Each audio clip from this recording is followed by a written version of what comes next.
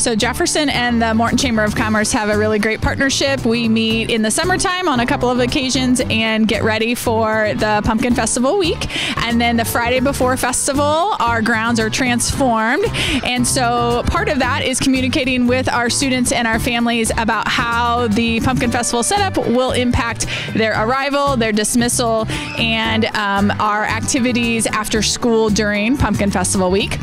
And our staff does an exceptional job of making sure that students stay safe during the week. And the Chamber does an exceptional job of helping all of their volunteers and workers know that we are still in school during the school day.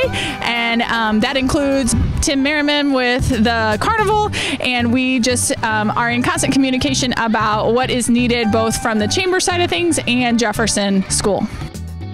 So during festival week, we have to adjust where our students um, participate during PE as well as recess. So PE is typically held inside during festival week. For recess, however, due to the west side of our building um, being transformed into festival grounds, all of our students um, are on the east side of our building on our primary wing playground.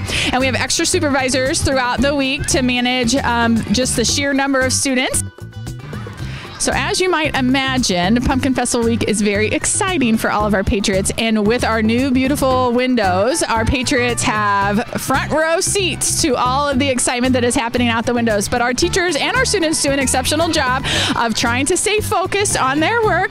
But I will say, if you um, ever drive by Jefferson during recess time, there are many little friends peering over the fence at recess watching all of the excitement as the festival is set up in front of their eyes. They literally will run from the cafeteria out to the front corner of our property where they can see as the carnival rides are being set up. So it's pretty exciting. And they're usually screaming as they're running, the rides are here. So that's awesome to see their excitement, and they can kind of get a little glimpse of that, and then they can return to class and be productive, hopefully, in the afternoon. All right, so something new this year is um, on our west side of the building, we have a full wall of windows. And so our sixth grade Patriots, along with their teachers, Mrs. Geist, Miss Kruzik, and our resource teacher, Mrs. Muzz, who happens to have a degree in art, are um, putting up for us a beautiful display that you'll have to check out when you come and visit um, the festival this weekend. That is just a little message that encourages everyone to get into the theme of the festival, which this year is farming pumpkins. I think one of the things that I would want everyone to know is while the festival does overtake our property for this week, we are honored to be able to host the festival every year.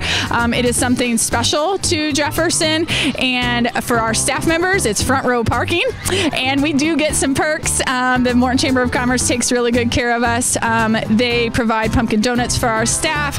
They also allow our students um, to ride some of the rides um, in advance if they have earned a special um, prize, as well as this year um, they were very generous with a gift to all of our students. And so we're excited to be able to share that news with our families.